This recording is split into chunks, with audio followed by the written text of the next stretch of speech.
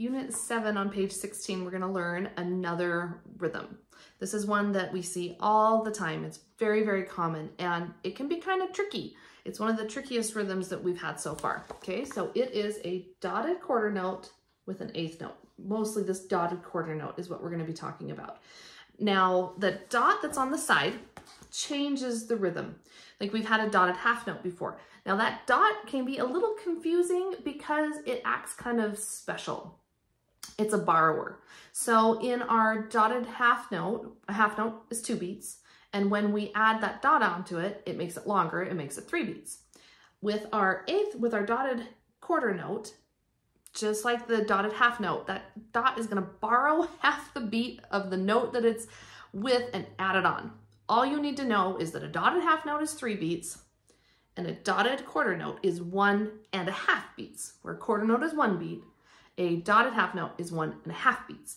So it's going to borrow from the next beat. So if you see the counting underneath, one and two and. So it's that dotted half note is now going to get one and two or apple, app. And then most of the time you get an eighth note or an eighth note rest after a dotted quarter note. Now I have on here as the the fruit salad rhythm nickname a pumpkin. And what that does is it helps it to stretch it out. So the, this rhythm would sound like pumpkin, pumpkin, pum, um, and that kind of um, second um, ump comes on beat two. So like one, two, and pumpkin. Something that sometimes helps though is to think of it in eighth notes. Our dotted a regular eighth note is equal to the length of two eighth notes. I mean, a quarter note. Regular quarter note is equal to the length of two eighth notes. Quarter note, two eighth notes. But when we add that dot on, it's like it's getting another eighth note. So it's like three eighth notes long.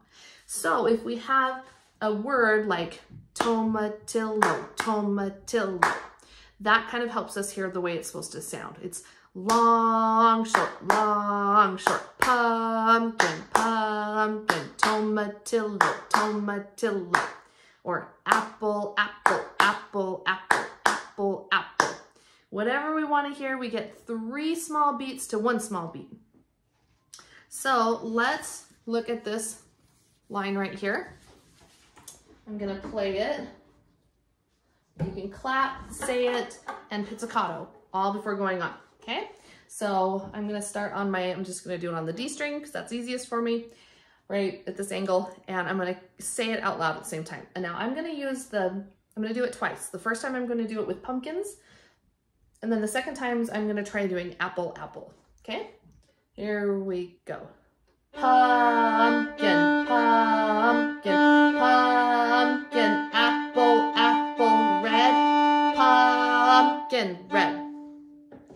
note. That is a red at the end.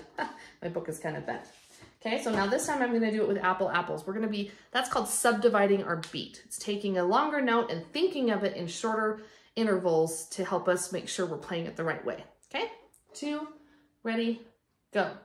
Apple, apple, apple, apple, apple, apple, apple, apple, red, apple, apple, red. So in that last measure, there is that dotted quarter note, and then there's an eighth note rest.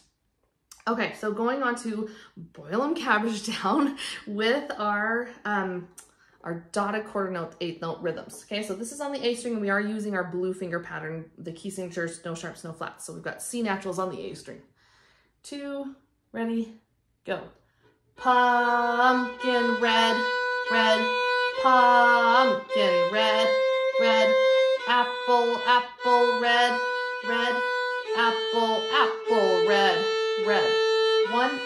two and three, four.